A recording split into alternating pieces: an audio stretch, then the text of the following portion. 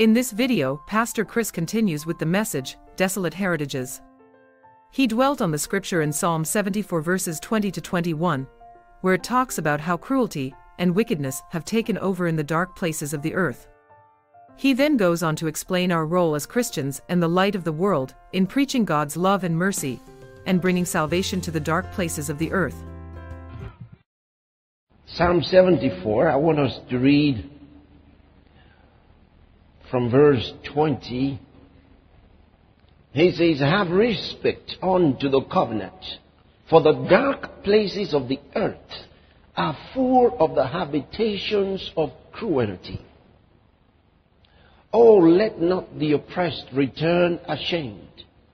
Let the poor and needy praise thy name. The psalmist here prays to God and says, Remember your covenant. What covenant? He's talking about the covenant with God's people, God's covenant with his people, the Abrahamic covenant. He says, Have respect to the covenant. For the dark places of the earth are full of the habitations of cruelty. The dark places of the earth.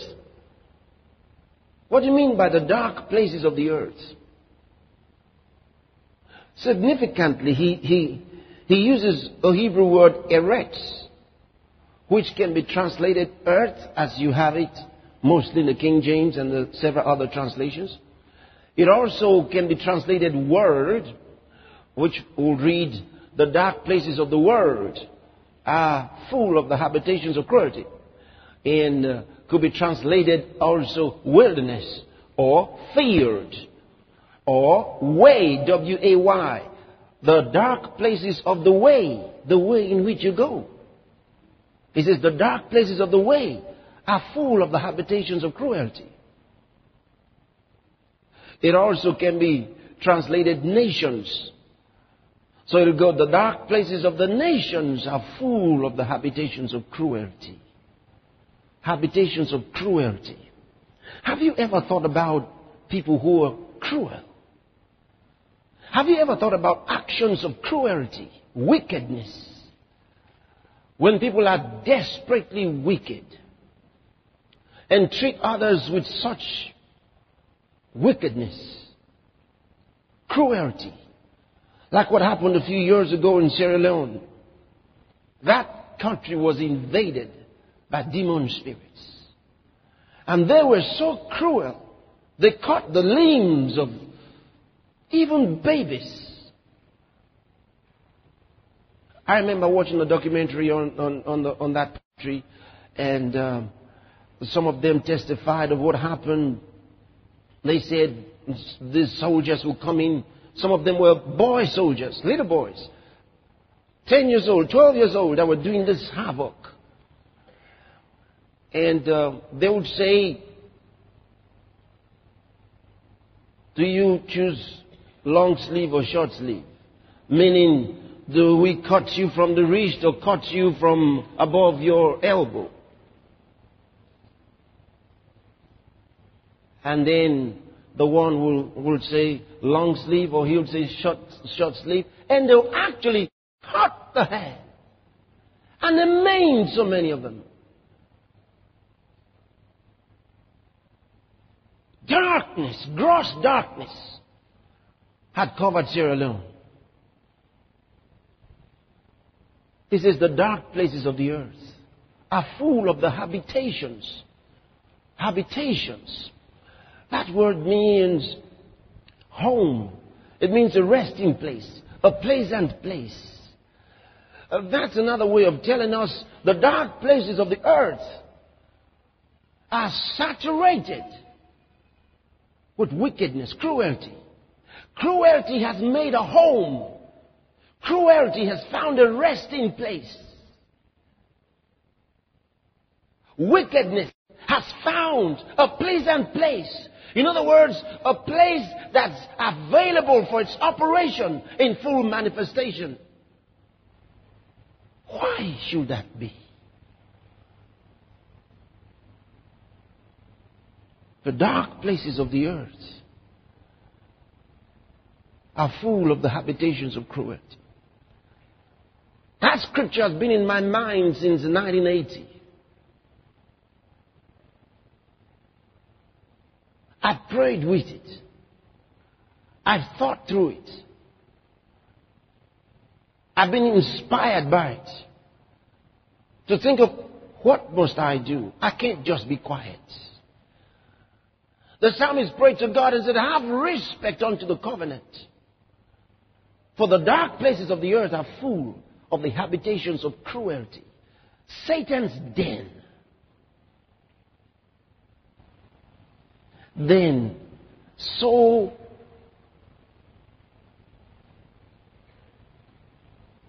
passionately, he prays in the 21st verse. You can see it there. He said, Oh, let not the oppressed return ashamed. I'll never forget so many times that I prayed with that verse, prayed with that scripture, this portion of the Bible you're reading. And I would cry and cry and use those words. Oh God, let not the oppressed return ashamed. Those seeking help from God. Oh God, don't let them return ashamed. Let the poor and needy praise your name. In other words, let them have testimonies. Let them have something to shout about.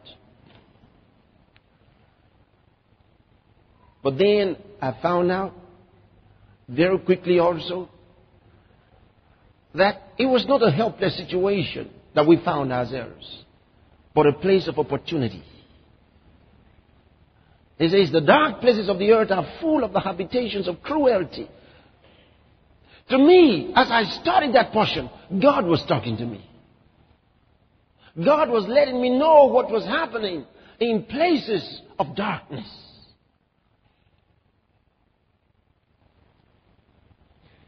Full of the habitations of cruelty. Where are the dark places of the earth? Where are the dark places of the world? These are places that are not dominated by the gospel of Jesus Christ. These are the places where they haven't received the light of God. These are places that are ruled by the, the, the children of darkness and the principalities of evil. Places that we have neglected. Places that we have not been concerned about. Because in, in St. Matthew's Gospel, chapter 5, verse 14, Jesus said, You are the light of the world. So we are the light of the world.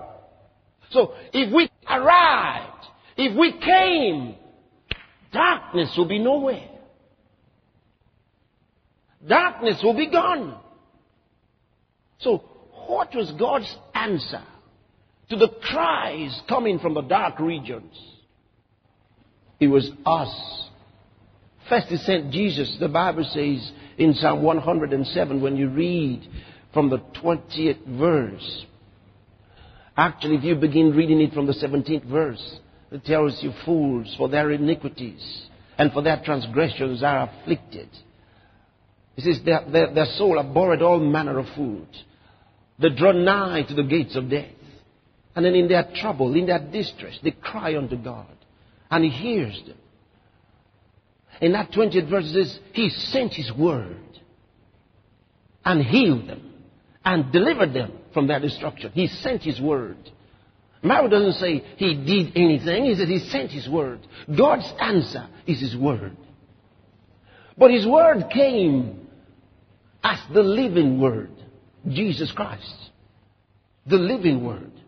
When He came, the solution was packaged in a human being. Jesus Christ.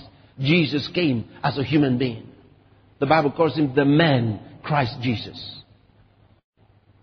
So God's answer was packaged in a man, Jesus Christ. He came as God's answer. No wonder the Bible says he was in the world. The world was made by him. The world knew him not. He came unto his own. His own received him not. But as many as received him, to them he gave the power, the authority to become the sons of God. Hallelujah. So Jesus Christ came to save them. But Jesus was cut off. at the age of 33. Even though he is the eternal God. Amen? But it came in a human body. And at age 33 was slain. The Bible says Messiah was cut off. So his work ended in the earth. He died and was buried. And God raised him up, but he ascended and went to heaven. But then the Bible says, when you study in Isaiah chapter 53, it says, He shall see his seed. He shall prolong his days, and the pleasure of the Lord shall prosper in his hands. In other words, glory to God. See, we are the seed of Jesus Christ. We are his reproduction. It says, He shall see his seed, and through his seed he shall prolong his days. So even though at age 33 he was cut off, his work, his life has continued through you, through me. So he gave us his name to function with. He gave us his life to live. He gave us his word to live by. Hallelujah. So God's answer came and went to heaven, but continued in me. So what? I am God's answer. Jesus came and said, I am the light of the world. Whosoever follows me shall not walk in darkness, but shall have the light of life. Then he said, You are the light of the world. Hallelujah. Yes, we are the light of the world. In Ephesians chapter 5 and verse 8, he calls us light. Yes, we are the light. So, when he cries, the, the dark places of the earth are full of the habitations of cruelty. That means I can do something. I'm supposed to do something about it. I can't just be quiet. He says, Let not the oppressed return ashamed. And that's a prayer of the Spirit. Let the poor and needy praise thy name. So, what can we do? You are either a victor or you are a victim. There's no middle ground. I say it again. You are either a victor or you are a victim. What are you? You are either in the place of darkness, suffering, in the place of darkness. That's in a dark place. Or you're taking light to the dark places of the earth.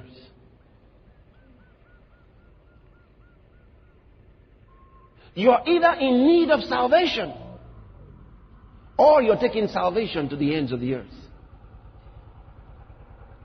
There's no middle ground.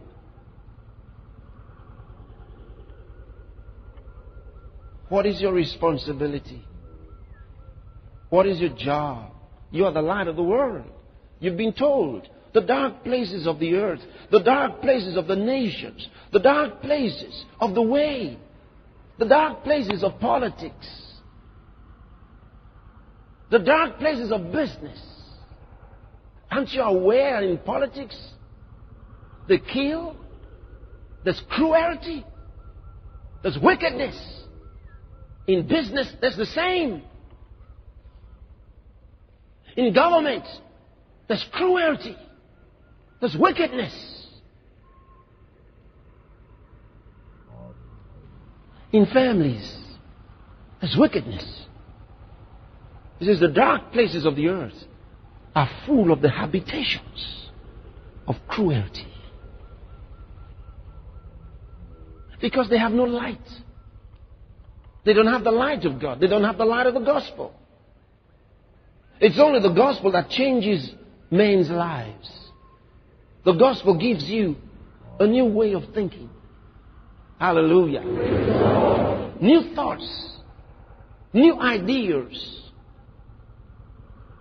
new ways of doing things. The gospel of Jesus Christ. When you receive that light into your spirit, because the Word of God is light. When that light dawns on your spirit, you think differently. The wickedness is gone. The love of God is shed abroad on our hearts, according to the Bible, by the Holy Ghost. You're full of love. The light has come. The darkness is gone. And when we take the gospel to others, the same thing happens with them. But if we're quiet, then Satan has a field day. Then Satan runs rampage with men's lives. Hallelujah. Are you thinking what you're going to do? Say, I'm the light of the world. I'm the light of the world. You know, sometimes I think about certain people. Sometimes when I hear some people talk or look at the way, you know, some people are, then I say, oh, I wish I met them early. Sometimes I think like that. I, I wish I met them early enough. Their lives wouldn't be like this. Because I know I'm in possession of something that can change anybody and lift them from a low level of life to a high level of life.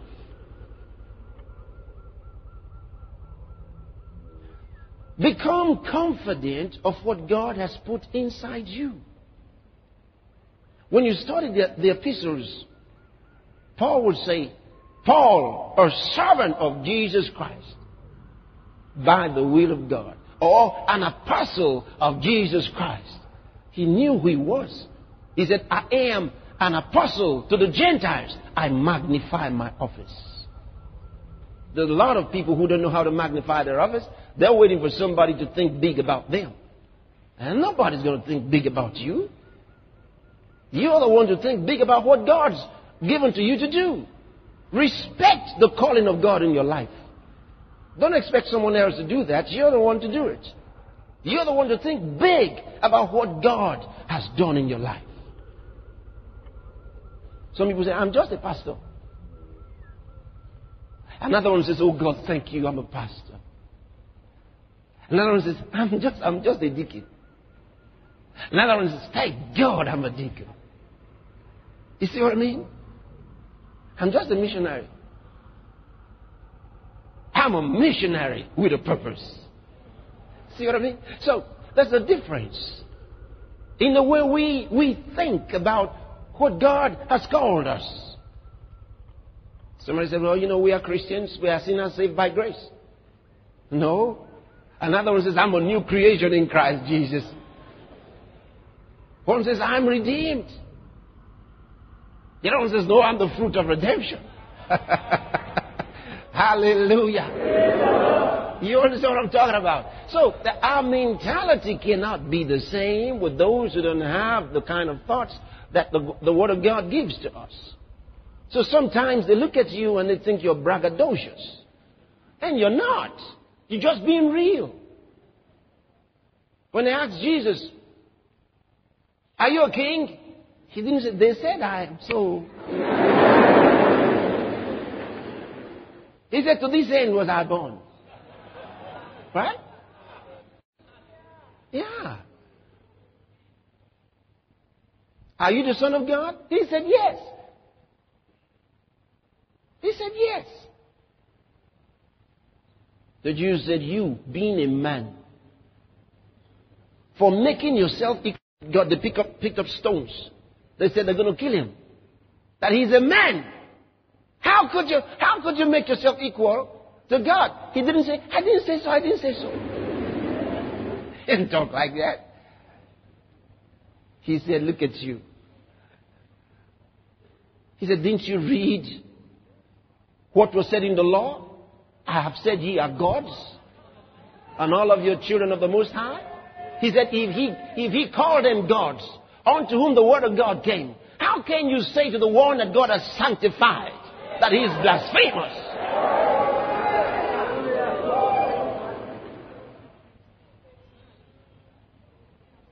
Hallelujah.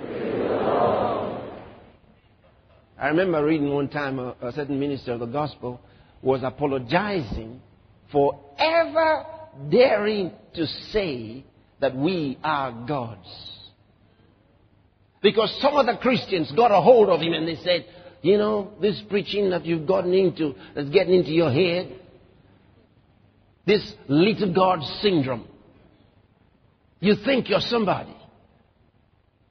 Give all the glory to God.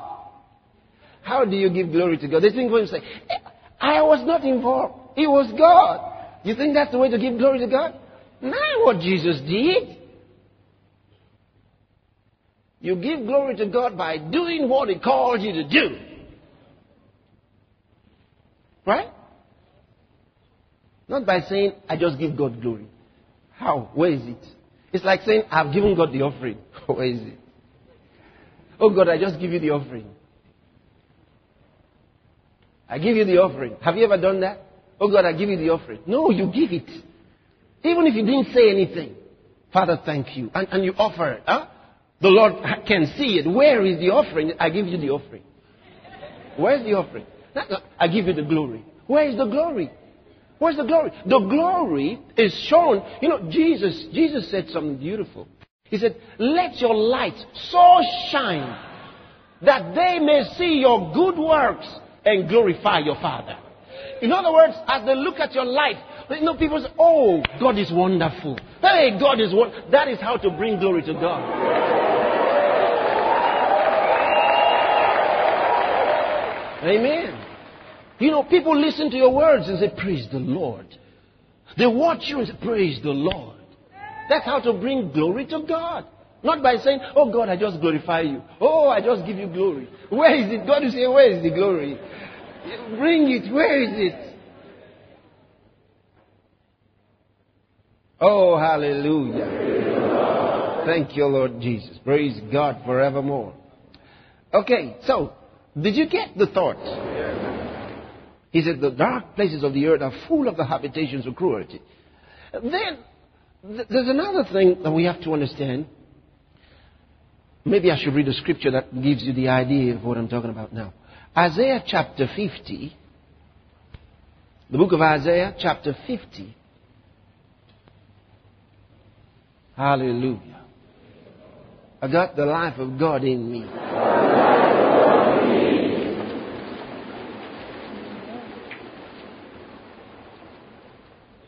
Isaiah chapter 50, I want you to read verse 10.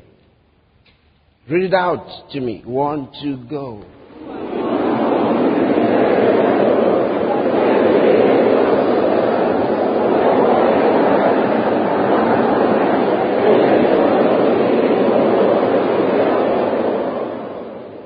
Did you? Uh, read again. Read again.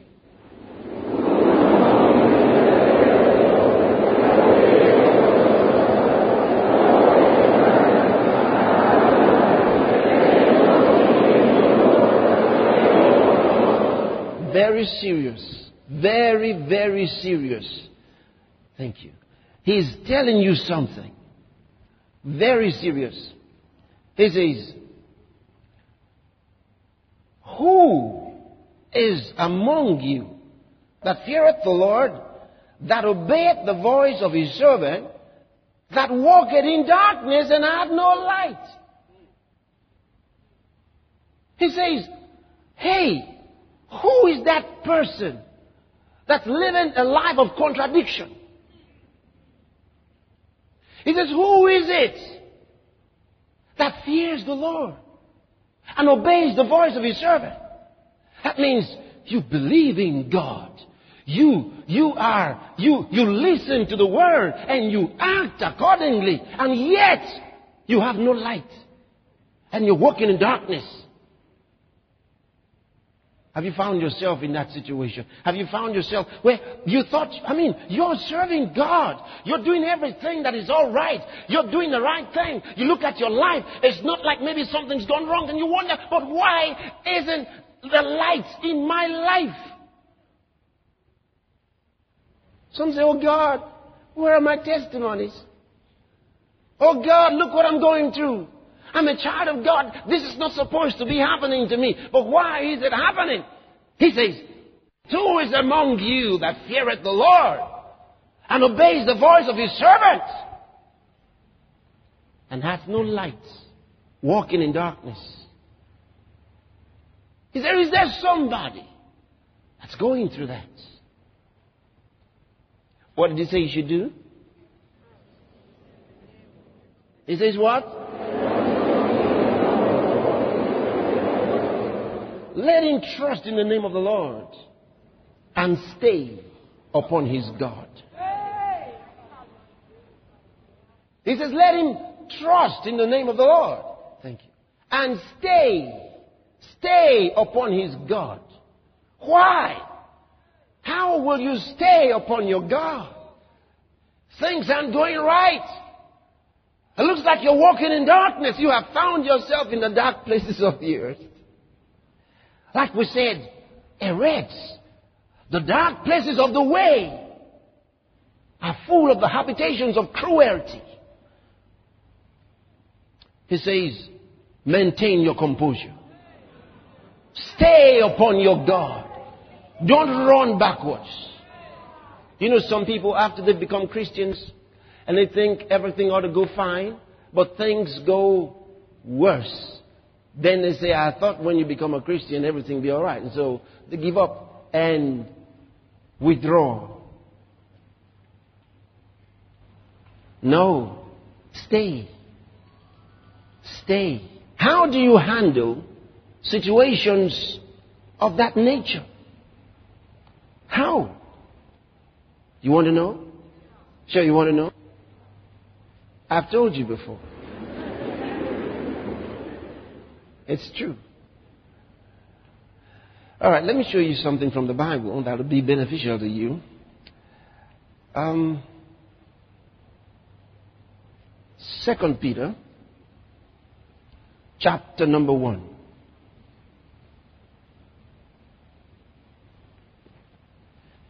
Have you found it?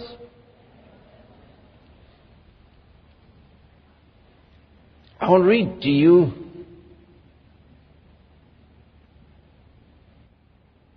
Oh, glory to God. Ah. Mm, mm, mm, mm. Whoo, whoo. Hey, hey. Listen to this. You know, I, I, just to read this, um, I'm scared on the inside. Okay, I, I'll read to you from verse 16 so you can get the context for we have not followed. Have you seen that? Second Peter chapter 1, verse 16. For we have not followed cunningly devised fables when we made known unto you the power and coming of our Lord Jesus Christ, but were eyewitnesses of his majesty. Listen, this is the apostle Peter. This is Peter writing, and he tells his readers he says to them, we haven't been deceived. We haven't followed mere stories.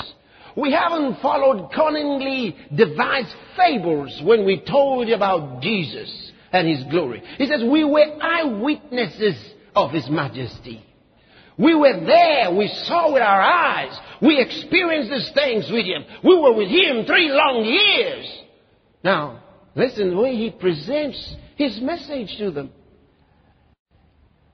So we were eyewitnesses of His majesty. Verse 17. For He, talking about Jesus, for He received from God the Father honor and glory. He's talking about Jesus. He's telling His readers about Jesus. For he received from God the Father honor and glory when there came such a voice to him from the excellent glory. This is my beloved Son in whom I am well pleased. Uh, are you listening to this? Peter says, I was there. I heard a voice speak from out of heaven. He said, we beheld his excellent glory. You remember Peter was there at the transfiguration? He was there when a voice spoke from out of heaven. Talking about Jesus, this is my beloved son, in whom I am well pleased. Now Peter tells his readers, I was there. He says, look, we were witnesses.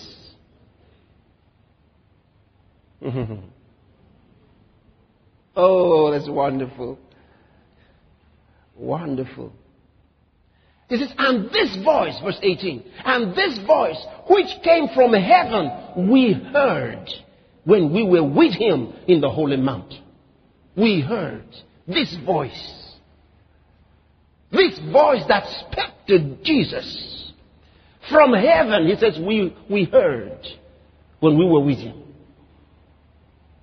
at that Mount of Transfiguration. So we saw his excellent glory. You remember how the Bible tells us that his, his, his, his clothes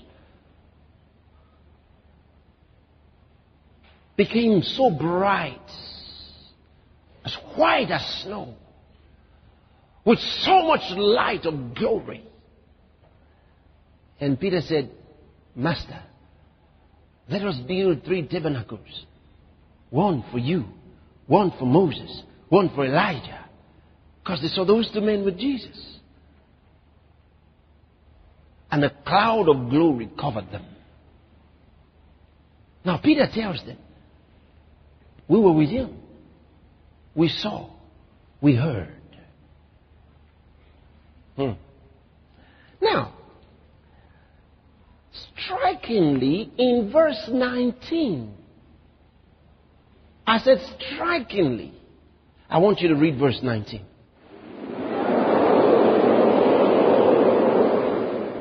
Stop there. Stop. Stop. He said, We have also a more sure word of prophecy.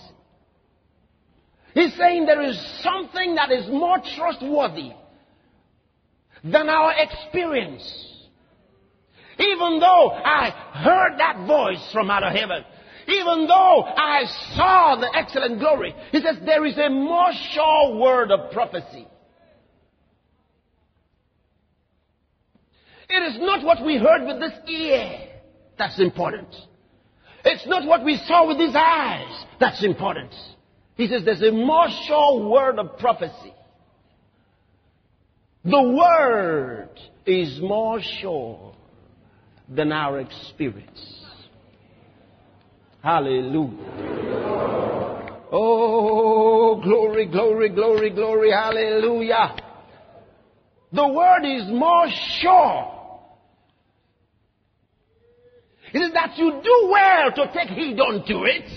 As what? As unto a light that shines in a dark place. Oh. Do you know what he's talking about? When life looks dark and things seem difficult he says, take hold of the most sure word of prophecy, like you would do when you're in a dark place and there's a flicker of light. What do you do? You follow that light. Because everywhere is dark. He says, take heed unto it as unto a light in a dark place.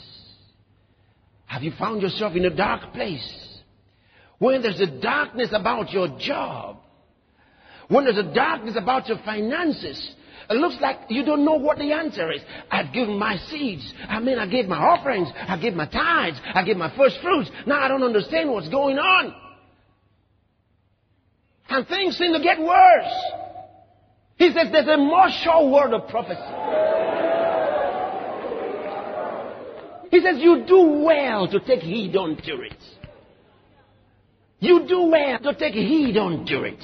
He says, Take a hold of it. As unto a light that shines in a dark place. Ah! I don't know whether, are you getting this stuff? Maybe you should read that whole verse, verse 19. I've got some more stuff for you right in there. Come on. Read again, verse 19. Uh-huh.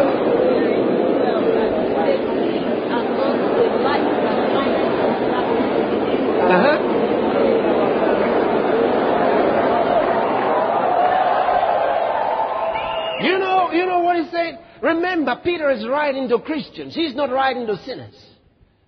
He's not writing to sinners. You check the first chapter, his introduction, you understand he's writing to Christians, not to sinners. Now he says, you do well to take heed unto it. As unto a flicker of light in a dark place. When you're in a thick, uh, in a room with thick darkness, or in space of darkness, and then you see light somewhere. He says, hey, you go after that light. You can't see nothing else but that light. He says, you do well to take heed unto that more sure word of prophecy. What does it mean by a more sure word of prophecy? You'll know in a moment. So, he says, you do well to take heed unto it. So, he says, hang on to that light until the day dawns.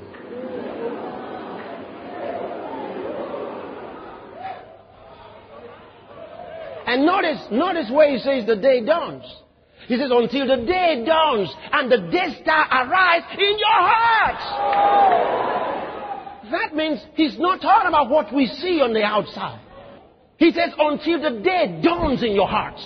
So, I don't know about this thing. I, I, maybe, maybe some kind of fear is trying to grip me. Unbelief is trying to attack me. And I, I'm thinking, what am I going to do? He says, the scripture you know about this situation. He says, hold on to it. He says, you may not feel like it's working out, but hold on to it. Things may not be changing on the outside, but hold on to it. You see it? You keep quoting that word to yourself, to God, and to the situation. You hold on to it as you will do to a light in a dark place. He says, until the day dawns. In other words, until in your spirit it lights up and you know that you know that you know it's a done deal. You come to that point, he says, until the day dawns and the day star arise in your heart. So in your spirit, you have received the light. You know it. Things may not have changed on the outside yet, but you just know that you know. You know. As long as there is a doubt, he says, hold on to that sure word. Your heart may try to go this way and that way. He says, hold on to that sure word.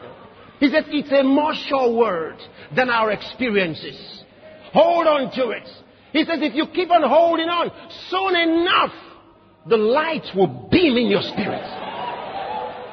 And then you begin to say, I know, I have it. I know. I know. I remember years ago. You know, years ago, uh, I, I was, you know, getting stared along these lines. And I was listening to Yonggi Cho tell a story. He was in need of a certain amount of money. And he, he said he needed that money, uh, a large amount of money. I believe he said he, he, he needed about $500,000 at the time. And at that time, it was a lot of money, years ago. And he needed to pay for airtime, television time he was behind and needed this money. And he had been praying and declaring. He had talked about it. But he, he, the money just didn't come. So, but he kept speaking the word and, and, and expecting a miracle. Then one day, at the breakfast table, when the table was set, and he was invited to come and have his breakfast, he sat down to eat, and suddenly he shouted, "I've got it! I've got it! I've got it! His wife came and said, What's the matter? What's the matter? He said, "I've got it! I've got it! I... Okay, you've got it. Please sit down. What's the matter? She thought something had gone wrong with his head. Please sit down. Okay, you've got it. What is it you've got? He said, I've got it. 500,000. I've got it. Oh, 500,000? You don't have 500. Oh, I've got it.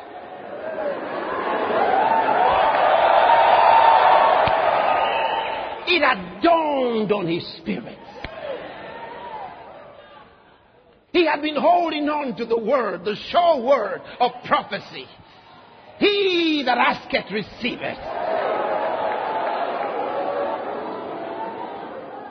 He had held on to it.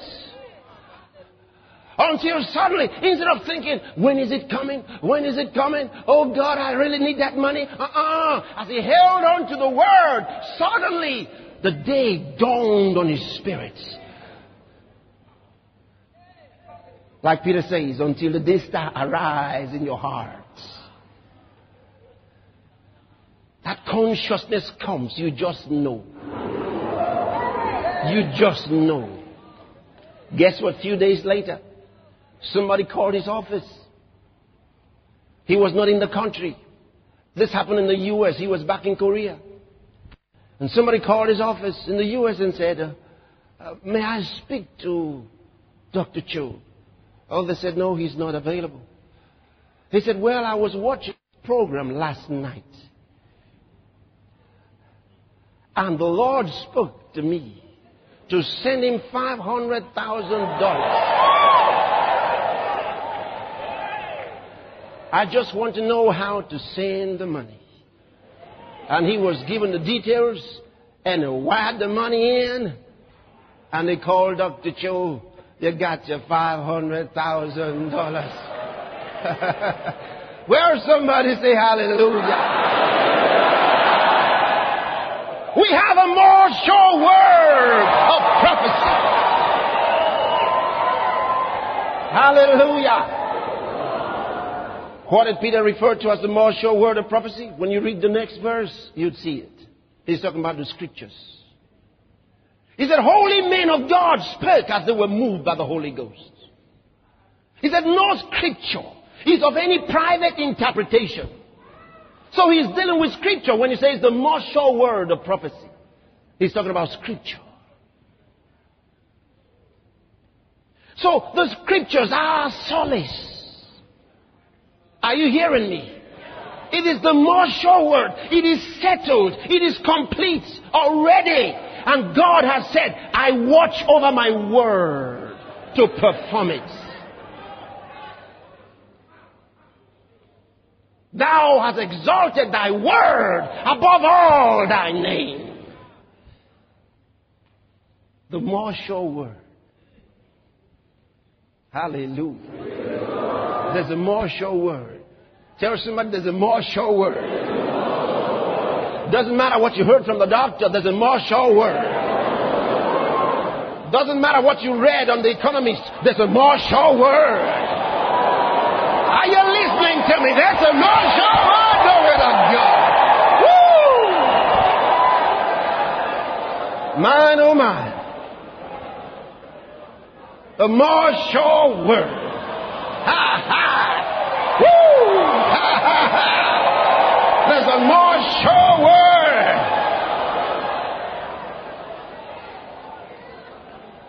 Oh, I can do all things through Christ who strengthens me. I can. Hallelujah. Hallelujah. I said hallelujah. There's a more sure word. No weapon fashioned against you shall prosper. There's a more sure word.